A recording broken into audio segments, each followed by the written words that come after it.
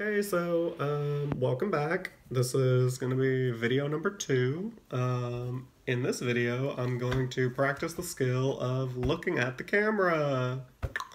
So, um, I thought that, well, firstly, before I even begin the video, let me say thanks for all of the people who liked my last video and subscribed to my channel and left a little comment or, you know, a little you know, just all of the love was really appreciated. And i think that's the great thing about this community is everyone is so warm and welcoming and it's great. So um i guess i'll just start with a little bit about myself. Um i live in louisiana and so but i live pretty close to new orleans which is like you know the home of voodoo and marie laveau and all that fun stuff and um, so I did a lot. I was in New Orleans a lot when I was younger and littler, and in Jackson Square, which is like, um, it's kind of like the center of the French Quarter, kind of. Um, there are tarot readers all over. Um, and so I saw tarot my whole life, and I was always really interested in it, and I have the most amazing parents who never stopped me from doing or exploring anything that I ever wanted to do. So I, even though I was raised Catholic, I was not one of these people who like the tarot was an evil thing or I shouldn't use it or, you know, whatever.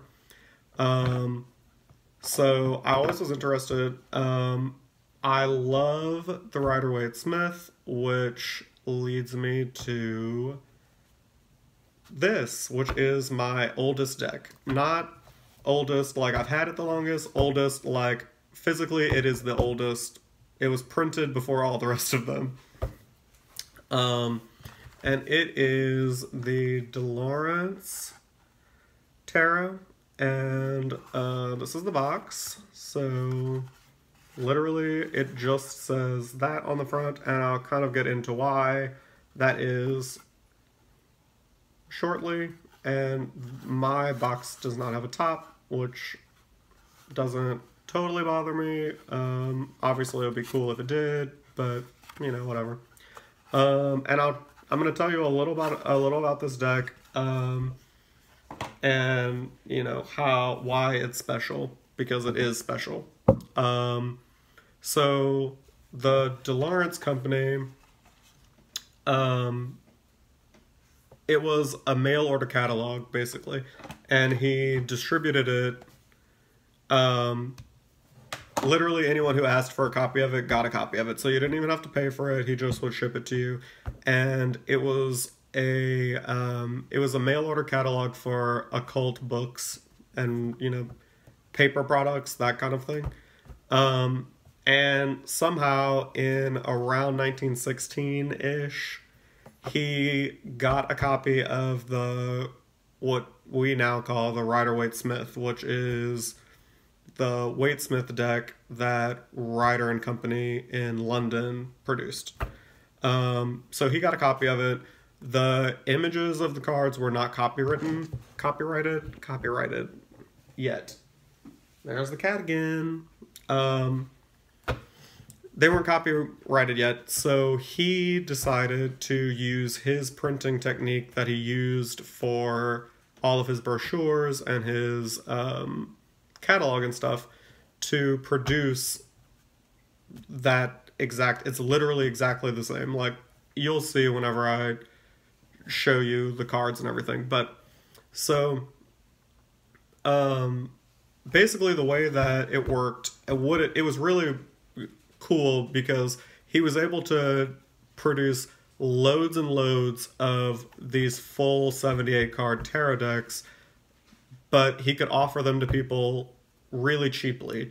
So instead of having to pay like taxes and import fees and, you know, the cost of shipping of like the Rider deck from London, he was able to offer it to literally anyone in America at just like pennies on the dollar. So literally pennies on the dollar because it was 1916, so it was very cheap. Spoiler. Um, so basically, the all of the cards of all the decks were um, a five color process, but it only used two inks to do it. So they all were just one of the inks in all of them was black, but it really looks closer to indigo on the cards. You'll see it's definitely closer to like a navy than a true black. And the reason that they all had black is because that's the ink that he used for the all of the typeface on all of his um on all of his catalogs. So that was the first color. And then the very first deck that he introduced was yellow. So it was a yellow and black, but the cards were fully square. They didn't have rounded corners at all. That was produced between 1916 and 1935. And then the next color that he did was also yellow, but these had rounded corners because he realized that, like playing cards, it made more sense to have round corners. And the second, the rounded cornered yellows look a little bit darker. They're a little more orangey looking than the original yellow.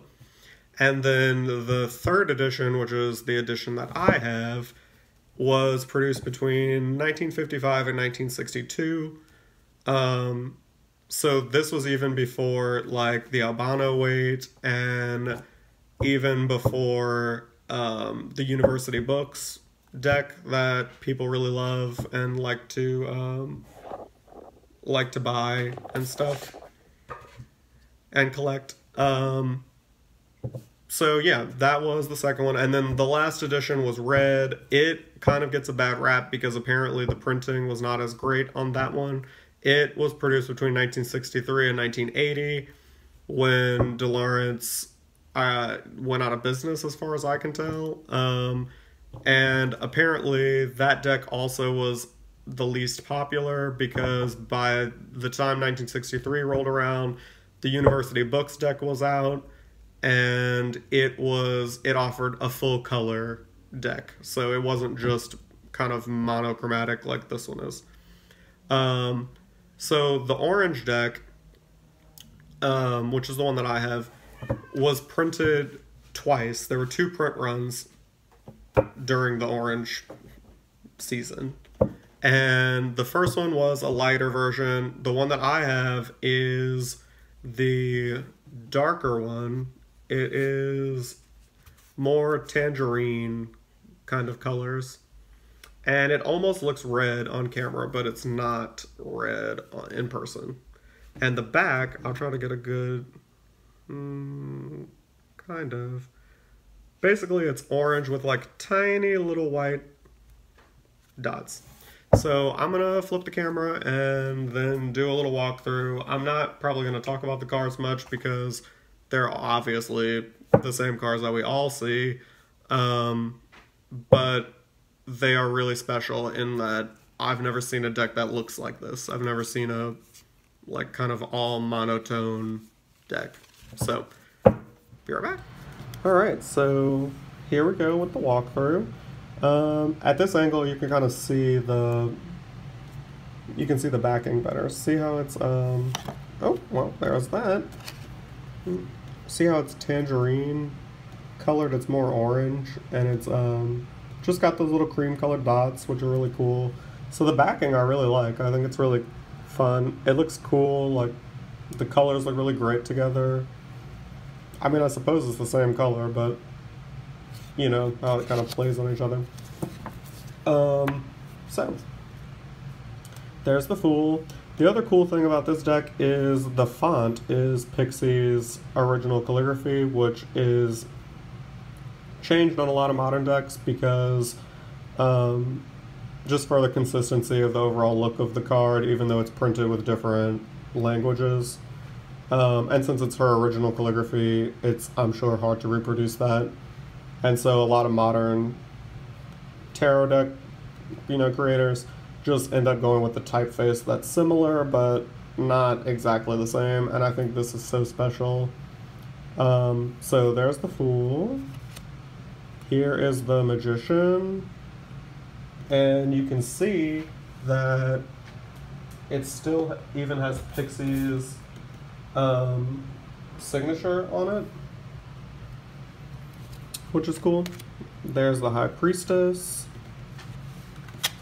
the Empress, the Emperor, the Hierophant. There's the Lover's card, and this one you can see really well. Do you see how they layered, like, there's obviously little black dots on the little mountain there, and then they put the little orange dots right on top, and then the people's bodies are made up of tiny little orange dots, and even, like, the background of the cards are little tiny dots. So it's just really cool to see that. Um, so there's the chariot, the strength card, and there's something about the way that it's done. It's less like muddled looking, like the simplicity of the colors and everything.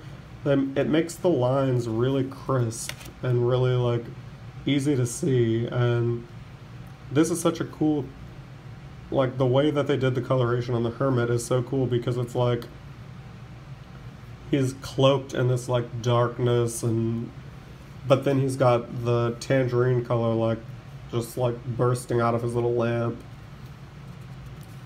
And then the wheel of fortune. Another really cool one. Justice. Super cool. I really like the colors, the coloration, and it's fun because like even though it's only technically like they call it five colors, like it looks like so many more shades even though it's not. Like mm, there's the hanged man death.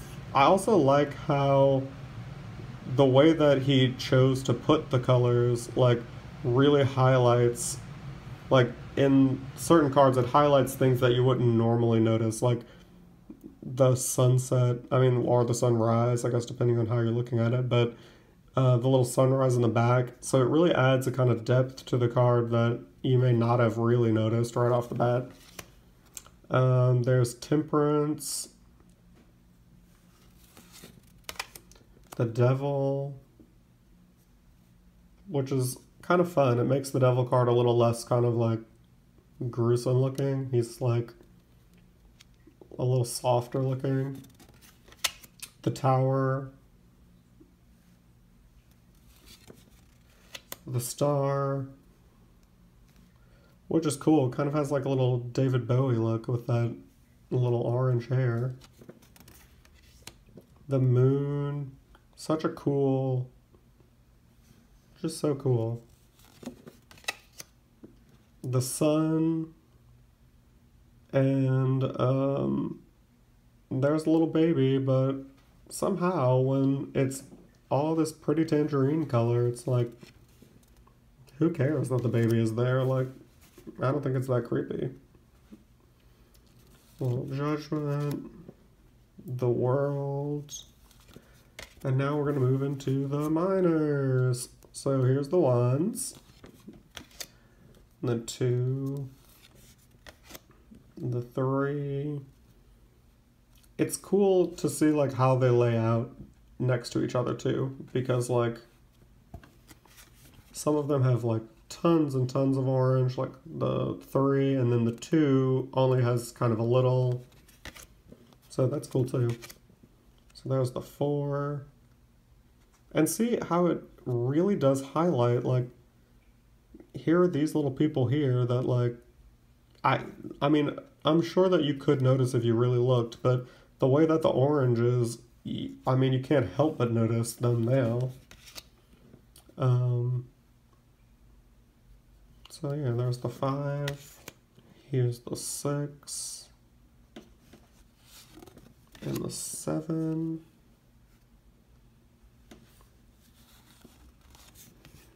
The eight and it's fun because like sometimes they even look a little on the brown side.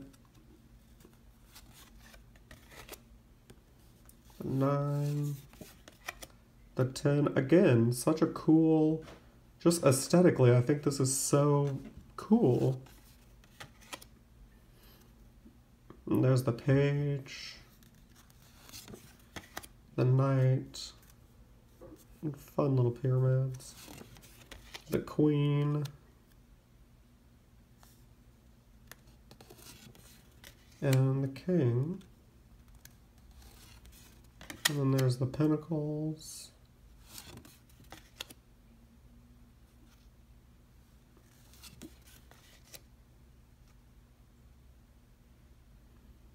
See, again, like, this looks to me like he's pouring something.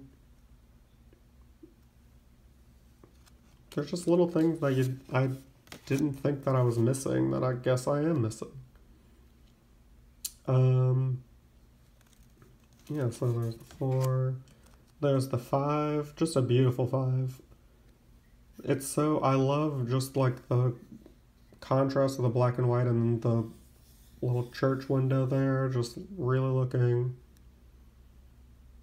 vibrant. And this looks like little anchors to me. I don't know if that really is what it is, but I didn't notice that before now either. So. There's the little six, the seven, the eight,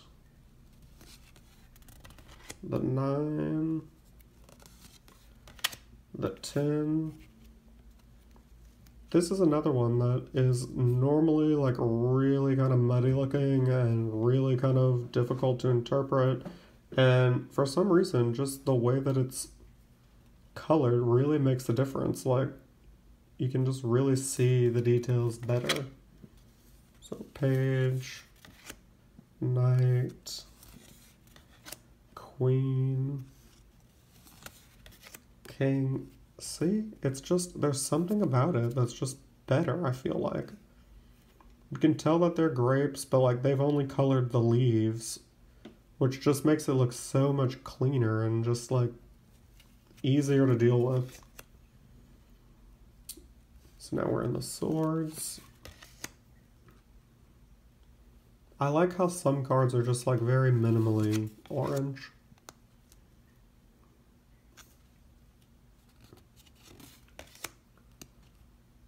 And even like details in the stained glass. This was, I think, a really underappreciated deck. I mean, as far as I don't see, I haven't seen a YouTube, I haven't seen a walkthrough of this or anything, ever. Um, and also, I would like to just say that if you want more information about it, um, waitesmith.org is where I got the majority of this information because aside from that website, I don't think that there really is a lot of webs, you know, a lot of information around. And you can just like really see here, there are people back there. Like, or, I mean, it looks like people to me. So it's just like there are things that you just don't notice in a regular. I mean, the older editions of the yellow box US games and the blue box, you can notice like details and things, but like on the new ones, you cannot tell that these are um, astrological associations. Like, I mean, I guess if you knew that that's what it was already, but I don't, I really just don't think that it's that clear. Um, so there's our 10, and there's just something about this. It's more approachable to me. This 10 is much less menacing, this 10 of swords, far less menacing than a regular one, and I think it has to do with the colors. Like, the color and I'm typically I do not really love oranges and reds. I really am a blues, greens, purples kind of person, but there's something about these this color combination that's just like the grays, the you know, the bluey black and the tangerine. It's just like so I don't know, it's just better.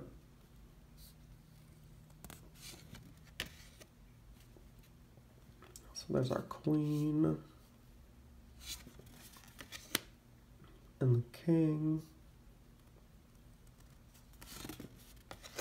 And now my favorite suit of all, which is the cups, which makes sense because I am a Cancer Sun. So there's our ace, the two, the three, the four, just so vibrant. Like, I just love it. There's the five, and like, it even looks like this is more like on the red side. So cool. All these little details. The seven. The eight. Just, this is such a cool, I love this little sun-moon combo. I think that would make a great little tattoo, just like small. There's the nine. Again, typically this is really muddled looking, and it's not muddled there.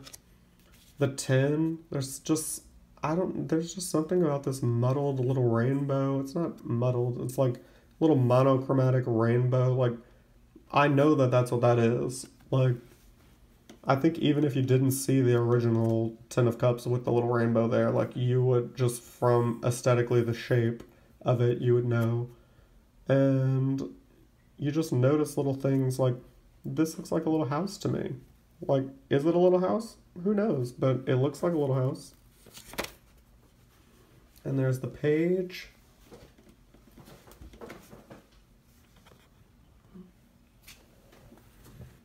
And the knight. Again, the colors are just like, I should say color.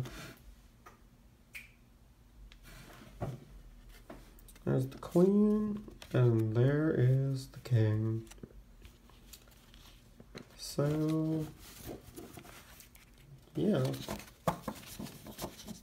Um, I will say, if you're interested in getting this deck, the most important thing to do is have patience. You can find it. It does show up. Frequently, it's pretty pricey, like way too pricey. Like I I mean, I found it really reasonably and honestly um, I think it's probably because the person that was selling it didn't really know what it was. Um, so yeah, if you're interested in them, in this deck, in the four variations, um, I've even seen the yellow, the square yellow, which is the original one. I've seen it sell kind of recently.